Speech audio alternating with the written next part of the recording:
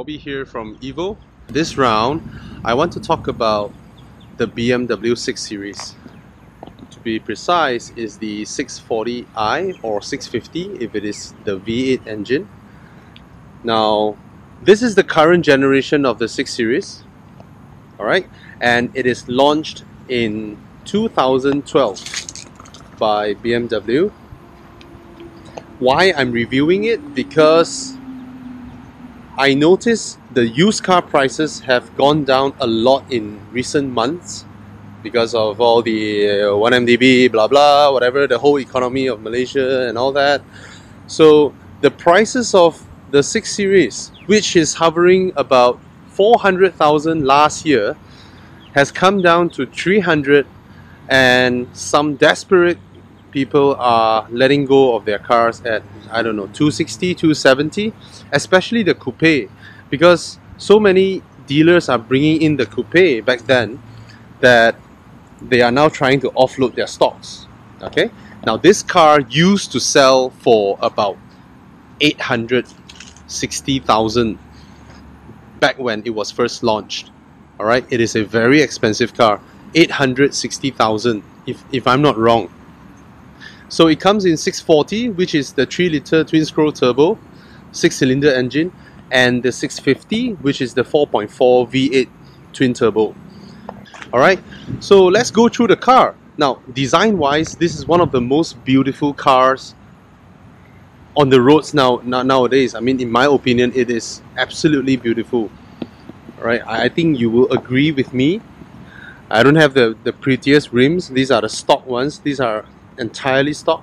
You have the M Sport, which is which has a different bumper, but I don't really like that bumper because it is as if BMW purposely designed it to not look as good as the M6.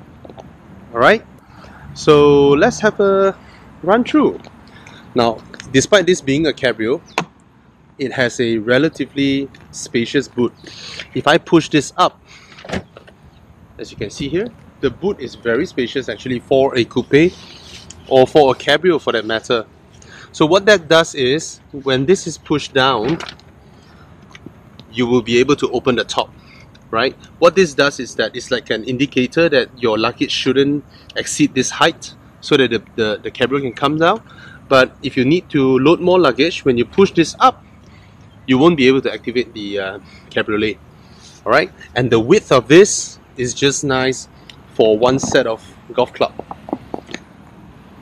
Right. So let you have another look of on the exterior. It's actually very pretty.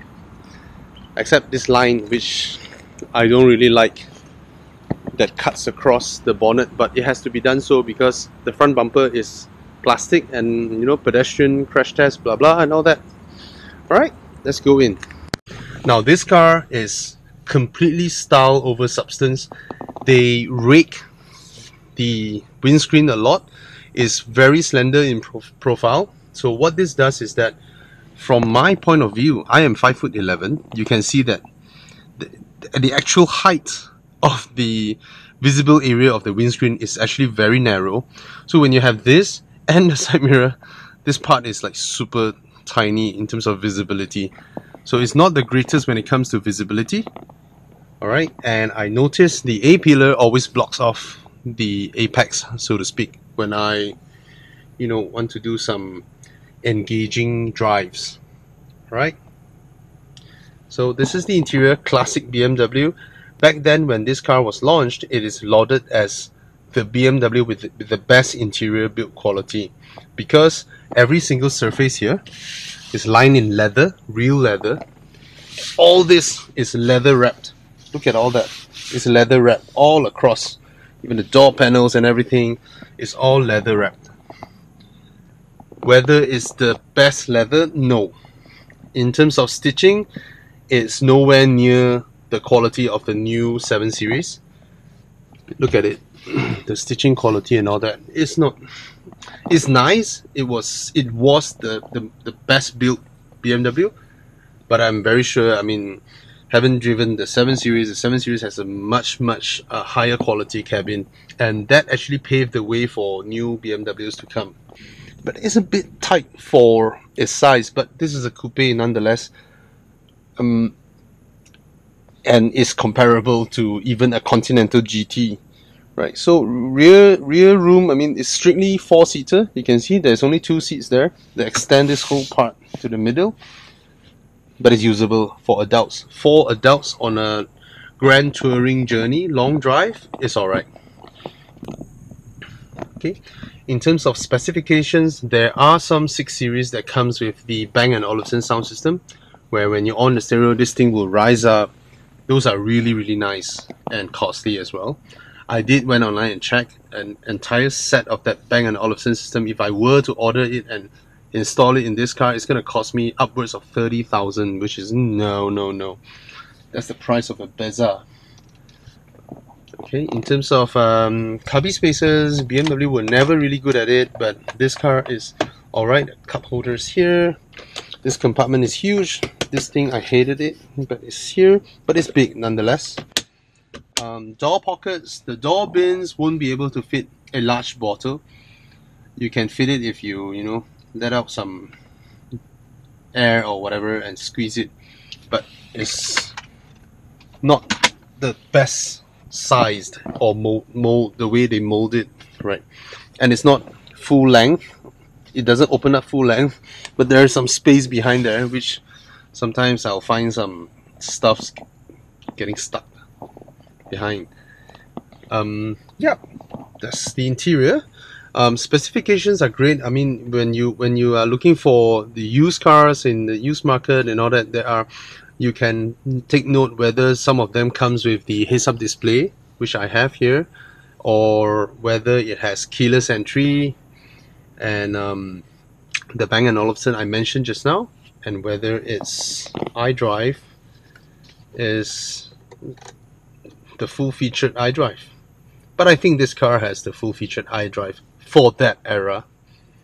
Alright, it is nevertheless a top spec BMW. It's, it's a premium range of BMWs and you can tell from the interior the build is very very different from the usual 5 series or 3 series. Now in terms of driving, of course, the coupe will be a lot quieter than the cabrio because of I mean sound insulation and all that is of course it's different. That's a hard top, right? This is a soft top, and you get in sound intrusions from you know there's a truck next to me now or motorcycles and all that. But it's never to the point where it's annoying. It's not. But having said that, in the tunnel, in the tunnel, I'm not sure why. Maybe it's the echoes or the, the, the ricocheting of the engine noise and all that, it is super loud in tunnels. It's just horrible. In the tunnel, it's, it is horrible. Oh, and I really have to raise my voice when I speak to the, my passenger. So that's the pros and cons. But you, you know, a lot of people say that, oh, you, you have a cabriolet, you know, someone might just take a knife and cut your roof well, anyone can take a shilling and scratch your car, right? Anybody can pick up a stone and smash your windscreen, your window, and all that. So that's a moot point. And with a knife, even if you don't have a cabriolet, there's a lot of other things on your car that they can stab, right? Or someone can just, you know, I mean, this habit is a thing favored by, I'm sorry, motorcyclists, but too many of you do that. You know, someone can just hit your side mirror and just break it. So that's a moot point. As I don't even need to discuss the part where people might vandalize your car because anyone can vandalize anything. Alright? So far, I don't have any problems with it. I hope after this video comes out, nothing will happen to it. Nevertheless, um, in terms of the drive, now this is a soft car. It is not a all an all-out sports car. You know, it is meant to be comfortable. It is meant to be. It is meant to drive long distances in style. Right? I'm not a very stylish person. I was at the Mercedes um, launch the other the other day where they launched five cabriolets. Of course, it's two models, but there's three variants for the C-Class Cabrio and two variants for the SLC, which is crazy because not many people buy cabriolets, but they launched five. So the VP of uh, Mercedes Sales and Marketing Mark Raine was showing a picture of some really cool dude in scarf, in a bright blue color, in bright blue color glasses, and he said that you know people who buy cabriolets are stylish, they are passionate people, you know, they wear stylishly and all that. Okay, I'm, I'm none of that. All right, I'm none of that. I just like the fact that my roof can be retracted when I want it to be so that the wind can blow in, I can hear the engine noise and all that. Um, I'll try and accelerate here and see whether you'll be able to hear the engine noise. Alright. It sounds lovely. 140, 150, 160. Alright. Time to brake. But at slow speeds, I'm not sure why they, they design it that way. I cross-referenced a lot of uh, UK or US reviews and, and verified this. All of them said that at slow speeds, that was the first batch. Huh? Don't don't get it wrong with the 2013 facelift or 2014 version. The first batch, it is choppy at slow speeds. It almost behaved like the seven-speed dry clutch from Volkswagen in slow speeds. Now, as for the engine, it is a lovely engine, but again, when it comes to whether it's responsive or not on taking off, I mean, when the car is going, it's lovely, all right. But when it when it's when I'm trying to get out of a junction and all that, every single time, turbo lag. There is a, a half second turbo lag there, right? I'm not sure if that was caused by the transmission or the, the turbo, but it just lags that half second. Uh, because I have a very good reference point, I have another Audi which is 3 liter supercharged. That car is the response of that engine and gearbox com- combination is crazy. That car just boom, just goes off like that the moment you prod the throttle. So this car doesn't behave like that as well. I mean, of course, it's a Grand Tourer. Maybe it's not supposed to do that, but it will be great if it does so. All right. So reliability, of course, when it comes to you were thinking that oh, I'm I can afford a 260,000, 280,000 uh, BMW 6 Series now, but will I be able to afford a car that was initially 850,000? Let me answer you that. Yes, you can. Why? We have to thank the fact that car makers now are sharing parts, transmissions, you know, almost everything they share across the board. So back then, back in the 90s, if you can buy a, an old 7 series or an old 6 series, doesn't mean you can, or 8 series, doesn't mean you can afford it because those are bespoke parts, bespoke engines. They are different and they cost. But nowadays, this is the same engine as the one in the uh, 135i or 335i. Okay, this car has start stop early generation start stop, but still it doesn't start too slow. But I don't like it. I always off it, right? Um, efficient dynamics. I prefer the dynamics part. efficient. Okay, efficiency. This car is efficient for a three liter forced induction car. This car always uh, gives me about 120 to 150 km more than my Audi. My Audi, my 3 liter supercharged Audi can can do about 410 km per full tank. This car can do about 550 to 580 km per full tank. Yes, the tank is larger, but it's only 5 liter more. So this car is way more efficient than, than my Audi. So the efficient dynamics part does does play a role in that sense. I mean BMW is a leader in that in that area. So uh, consistently, BM, Audi, and Mercedes, same engine, same output. BMWs will always consume less fuel. It's proven across two generations. I'm not sure about the new ones that are coming, but they are good in that respect. There's another car coming, and they are just being busybody, trying to figure out what this idiot is doing. Oh, fuck off. Can you fuck off? Alright, good. Let's try again.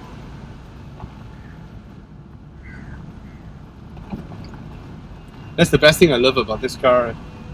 Because I can open and close the roof while I'm going. Uh, up to speeds of 40 kmh actually. Yeah. And now I will close it. Can you see that?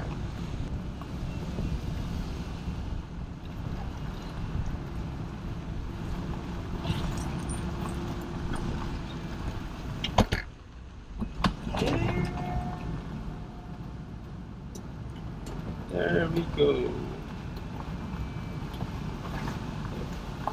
Takes quite a while actually. Yep. That's what I like about this car.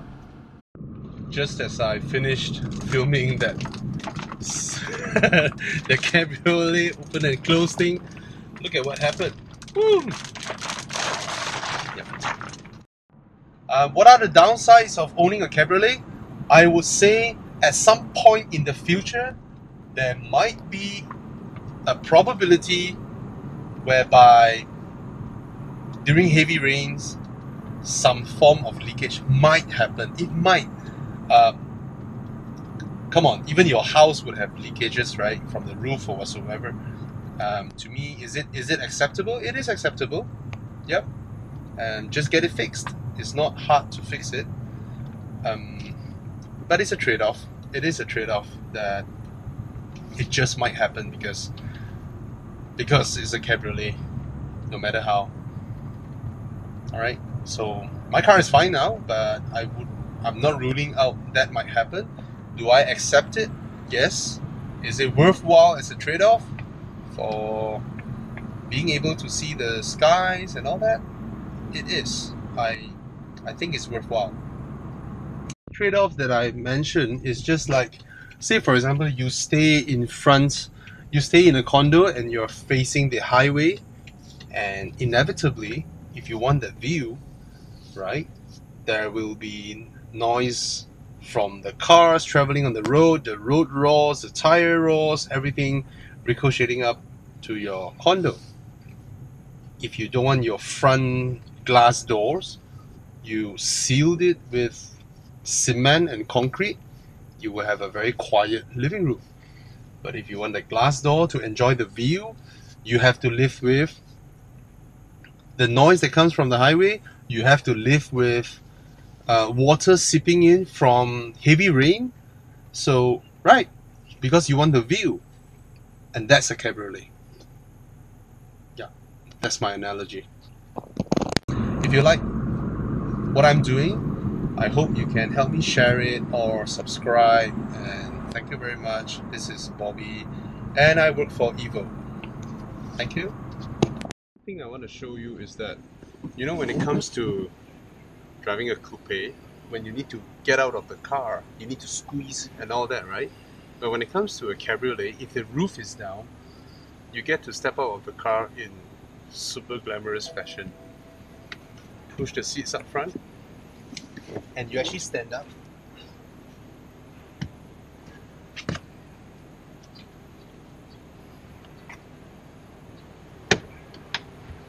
That's how you do.